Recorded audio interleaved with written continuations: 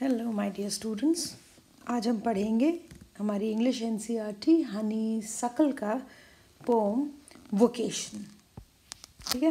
Vocation का क्या मतलब होता है? वोकेशन का मतलब होता है वो काम जिससे कि हम अपना लिविंग चलाते हैं, नौकरी या ऑक्यूपेशन या बिज़नेस या जो भी हम करते हैं पैसे कमाने के लिए, उसे हम कहते हैं वोकेशन ठीक है? चलिए पोएम लिखी है रविंद्रनाथ टैगोर जी ने, जिन्होंने हमारा नेशनल एंथम भी लिखा है। तो it's a very interesting poem आइए शुरू करते हैं। When the gong sounds ten in the morning and I walk to school by our lane gong का मतलब क्या होता है? जैसे घंटा बजता है ना, दस का घंटा बजा तो ये इनका कहना है कि एक स्कूल गोइंग बच्चा है, जो ये पोएम सुना रहा है, बोल रहा है। तो इनका कहना है कि जैसे ही दस का घंटा बजता है, मैं अपने स्कूल के लिए निकल जाता हूँ अपनी गली से। ठीक है? लेन मतलब गली। Every day I meet the hawker crying यानी कि एक हॉकर हॉकर क्या होता है? जो सामान बेचते हैं ना सड़क पे ठेला लगाते हैं या जो चलते फिरते सामान बेचते हैं, उन्हें हॉकर कहते हैं। तो कहते हैं every day I meet the hawker crying crying मतलब चिल्ला चिल्लाता चिल्ला चिल्ला के बुलाता है, सामान बेचता है, क्या कहता है? बैंगल्स क्रिस्टल बैंगल्स चूड़ियाँ, कांच की चूड़ियाँ। ठीक है, कांच की चूड़ियों वाला एक हॉकर है, उसको ये देखते हैं और सोचते हैं there is nothing to hurry him on इसको कहीं जाने की कोई जल्दी नहीं है। There is no road he must take कहीं जाना इसके लिए ज़रूरी नहीं है, जहाँ मन करता है वहाँ जाता है। No place he must go to no time when he must come home घर आने का भी कोई टाइम नहीं है। कितना केयर फ्री है। तो ये बच्चा सोचता है I wish I were a hawker तो सोचता काश मैं भी एक हॉकर होता. Spending my day in the road crying bangles crystal black bangles मैं भी सड़कों पर इसी तरीके से चिल्ला चिल्ला करके चूड़ियाँ बेचता कि bangles crystal bangles when at four in the afternoon I come back from the school चार बजे दोपहर में जब स्कूल से वापस आते हैं I can see through the gate of that house the gardener digging the ground तो किसी घर के गेट में देखते हैं, वहाँ पर एक गार्डनर यानी माली काम कर रहा होता है, ज़मीन खोदता है। भाई गार्डनर का काम क्या है? प्लांट्स लगाना। प्लांट्स कैसे लगाएँगे? पहले ज़मीन खोदेंगे प्लांट लगाएँगे। वहाँ पे वापस मिट्टी डालेंगे, पानी डालेंगे।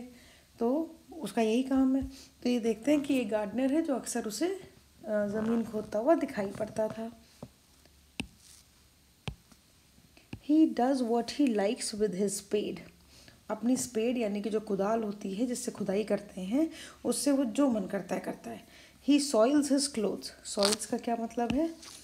सॉइल्स का मतलब होता है गंदे करना। टू गेट डर्टी ठीक है? कपड़े गंदे करता है with dust nobody takes him to task उसके बाद क्या होता है, जैसे बच्चे छोटे होते हैं, जब वो घर पे कोई कपड़े गंदे कर देते हैं तो अक्सर उनकी मम्मियाँ कहती हैं अच्छा तुमने कपड़े गंदे किए? चलो, ये काम करो अब। तो पनिशमेंट के लिए उनसे कोई काम करवाया जाता है। तो वही कह रहे हैं कि ये चाहे कितने भी कपड़े गंदे कर ले, इनको तो कोई पनिशमेंट नहीं मिलती है। If he gets baked in the sun और gets wet baked in the sun मतलब इतनी धूप होती है, उसमें वो चाहे वो बेक हो जाए, यानी कि उसको खूब गर्मी लग जाए, तब भी कोई उसे कुछ नहीं कहता। और बारिश में भीगे तो भी कोई नहीं कुछ कहता।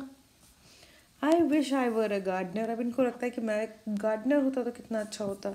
Digging away at the garden with nobody to stop me from digging और मैं भी खुदाई करता, और कोई मुझे रोक नहीं सकता था। ठीक है ना? तो just as it gets dark in the evening and my mother sends me to bed जैसी रात होती है, मम्मी सोने के लिए भेज देती हैं। उसके बाद क्या देखते हैं? ये देखते हैं I can see through my open window the watchman walking up and down खुली हुई विंडो से बाहर ये देखते हैं, एक वॉचमैन है वॉकिंग अप एंड डाउन यानी कि चक्कर काट रहा है, गली के। The lane is dark and lonely and the street lamps ये कह रहे हैं कि जो गली है वो बिल्कुल डार्क है, अंधेरा है, लोनली, यानी कि कोई रात में थोड़ी निकलता है। सब लोग घर में रेस्ट करते हैं, वॉचमैन ध्यान देते हैं।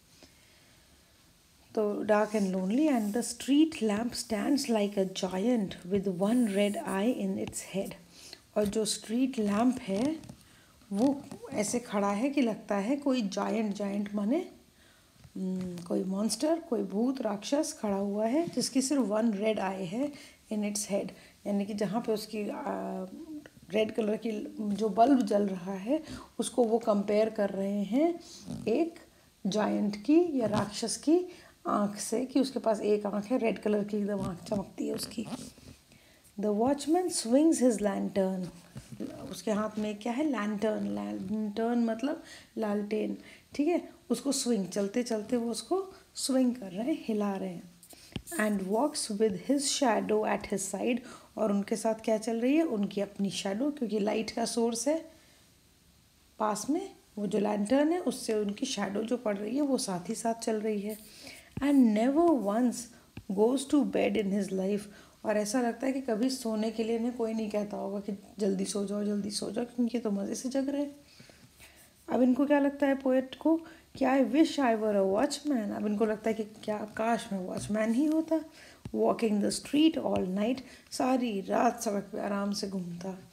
Chasing the shadows with my lantern और जितनी और शेडोज़ हैं, उनको, यानी कि शेडो मतलब शेडो किसी इंसान की या किसी चीज़ की आएगी उसको मैं भगा दूँगा अपनी लैंटर्न से। ठीक है? चलो तो ये हो गई हमारी poem now let us see the question answers सबसे पहले हम क्या करते हैं? सबसे पहले हम वर्ड मीनिंग्स करते हैं। वोकेशन करियर या occupation hawker seller chasing run after ठीक? चेजिंग मतलब दौड़ना, किसी चीज़ के पीछे किसी चीज़ को फॉलो करना। अब अगर हम सेंटेंसेस देखें तो vocation never choose a vocation just because it looks easy यानी कि कोई भी काम इसलिए नहीं ऑप्ट करना चाहिए क्योंकि हमें ईजी लग रहा है। हमें इंटरेस्ट हो तो ही हमें कोई भी काम करना चाहिए। Chasing the hunter was chasing the fox आपके दिमाग में कोई अच्छा सेंटेंस आए आप वो भी बना सकते हैं। Coming on to the question answers who is the speaker in the poem who are the people the speaker meets what are they doing the speaker of the poem is a school going child Every day he happens to meet the hawker who sells bangles, the gardener. Uh, there is a small edit here. Gardener. That's it. The gardener who takes the garden. Sorry, again there is an edit over here. Takes nahi hai, digs.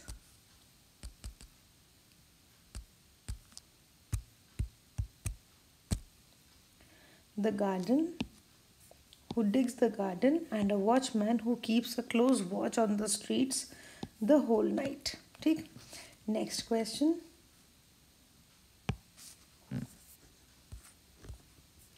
What wishes did the child in the poem make? Why does the child want to be a hawker, gardener, or a watchman? The child in the poem wants to be a hawker, a gardener, and a watchman. When he looks at the hawker, he wishes he could also spend his day on the road selling bangles.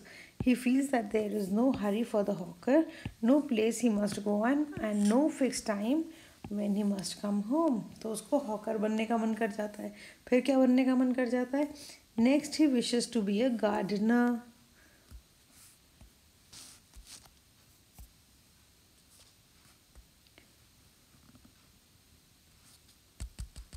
a gardener gardener because a gardener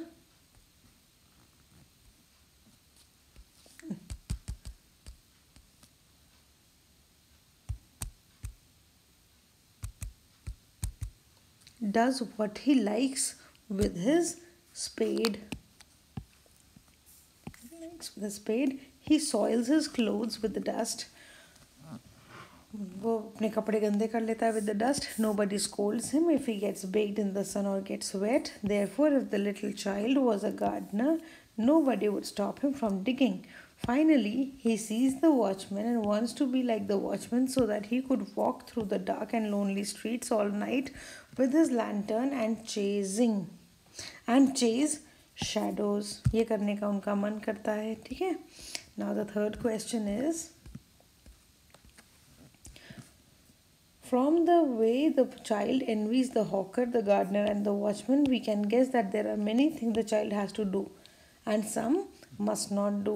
Make a list of dos and don'ts for the child क्या करना चाहिए क्या नहीं करना चाहिए तो अब इसको the child must the child must not इसमें हमें कैटेगराइज करना है पोएम में जो बातें दी हैं उनके द्वारा come home at fix time get his क्लो तो क्या करना चाहिए? Come home at fix time go to school on time obey his parents and teachers go to school every day wake up early in the morning ठीक? और क्या नहीं करना चाहिए? Child must not do. Get his clothes dirty in the dust. Waste time, be ill mannered or rude in behavior get baked in the sun or wet in the rain walk on dark and lonely streets at night okay so here we come to the end of the question answers for the poem vocation और I hope poem आपको अच्छी लगी होगी अगर अच्छी लगी है explanation आपको पसंद आया है तो वीडियो को लाइक कीजिएगा चैनल को सब्सक्राइब कीजिएगा और फ्रेंड्स के साथ शेयर करिएगा take care my dear students till uh, see you in the next class. Till then bye bye